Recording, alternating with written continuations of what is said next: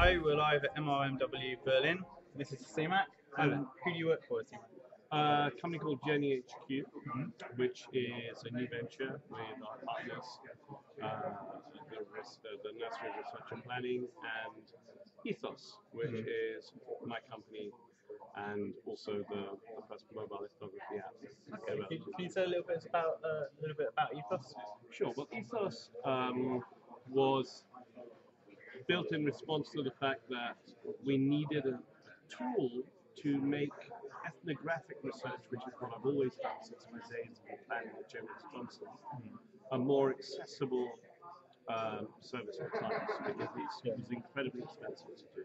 And we needed to find a way of making it more accessible. So going on, going on mobile was the way we did that. And we created um, a platform that enabled tasks to be pushed out to participants who would then capture uh, using different media events and happenings. This was a task-based and we knew that there was more that we could be doing, and that's where Journey HQ came in. Because with Journey HQ, which um, has gone live today, um, spent a year developing it. We've removed the researcher effect, so we don't have tasks. We are also capturing journeys, and we are tracking emotions, influences uh, of people as they go about their everyday lives. So how do you mean? Can you give me a little more insight? Well, instead of tasks, we have contexts in which things happen. So, because we don't want to influence people, we recruit of, let's say they're buying a new car, Yeah. or they're looking buying a new car. And we then provide categories in which they might think about buying a new car. So it might be a showroom, it might be with friends, it might be um, going online, all sorts of maybe six, seven, or eight different contexts.